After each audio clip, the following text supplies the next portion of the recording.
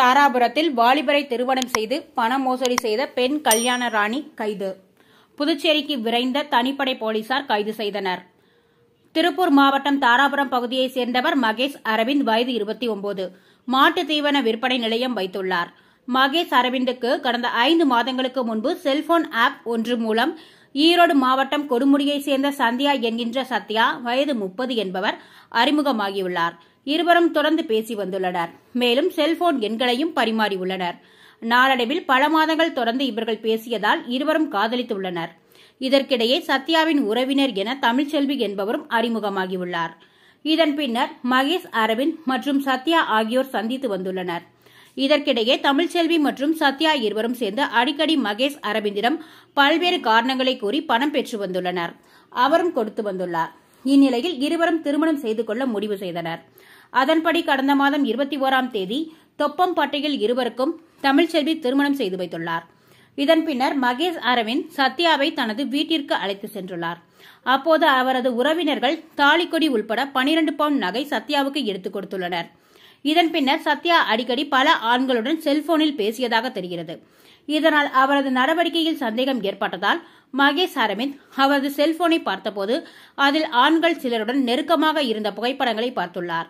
இதுகுறித்து கேட்டபோது இருவருக்கும் இடையே தகராறு ஏற்பட்டுள்ளது. இதனால் சத்யா திடீரென வீட்டிலிருந்து மாயமாகியுள்ளார்.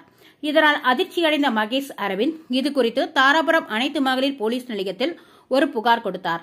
அந்த புகாரில் சத்யா தன்னை திருமணம் செய்து ரூபாய் ஐம்பதாயிரம் மற்றும் பனிரெண்டு பவுண்ட் நகைகளை மோசடி செய்ததாகவும் பல பேரை இதுபோல் ஏமாற்றி திருமணம் செய்ததாகவும் அவர் மீது நடவடிக்கை எடுக்க வேண்டும் என கூறியிருந்தார். இதன் அடிப்படையில் போலீசார் வழக்கு பதிவு செய்தனர்.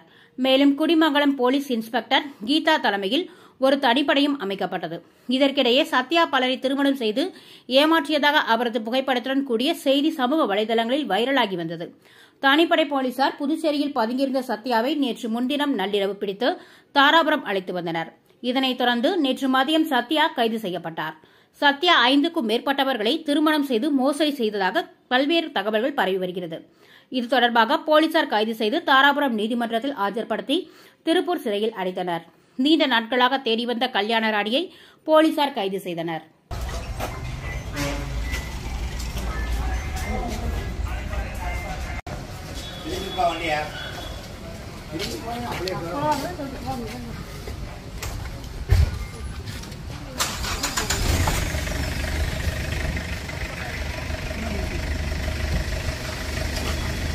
வந்து நிற்கிறது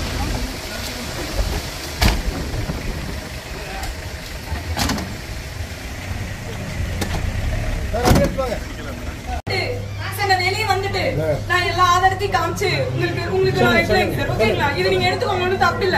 தயவு செஞ்சு என் ஃபேமிலி அசிங்கப்படுத்த இல்ல வேண்டாம். அப்படி நாங்க யாரும் செய்ய மாட்டோம். ஓகேங்களா? நீங்க உண்மையை சொல்லுங்க ரொம்ப நாங்க யாரும் செய்ய மாட்டோம். அசிங்கப்படுத்திட்டீங்க சார். இல்ல இல்ல அந்த மாதிரி யாரும் செய்ய அப்பா மாட்டோம். தற்கொலை பண்ணிக்கிட்டு அந்த வரைக்கும் பேசிட்டீங்க. இதுக்கு மேல பேச ஒண்ணும் இல்ல ஒரு பொம்பளை புள்ளை. காசு இருக்கவங்க என்ன வேணா பண்ணலாம் நீங்க காமிச்சு